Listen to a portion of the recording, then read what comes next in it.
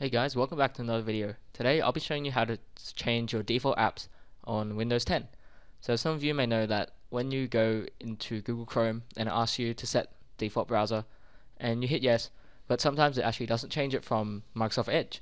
So apparently there's a new way to do this in Windows 10 and I guess developers have to use this new way of doing things. So all you need to do is, uh, hopefully this works, it might not, but it should.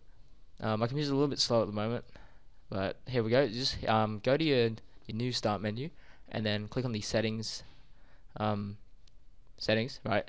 And then go to system, default apps, and you can now choose and set each one here. So for example, I want to play my videos and things with VLC. I just click VLC and I want my default browser to be Google Chrome and I hit Google Chrome. And that is how you set your default apps now, I believe. Uh, sometimes it will ask you like through Google Chrome, and it might not work like that. So hopefully this works for you guys. And if it does, feel free to leave a like down below. And if you like seeing these videos like this, uh, feel free to subscribe so you, so you can actually um, look at my future videos when they come out. So thanks for watching, and I hope to talk to you guys in the next one.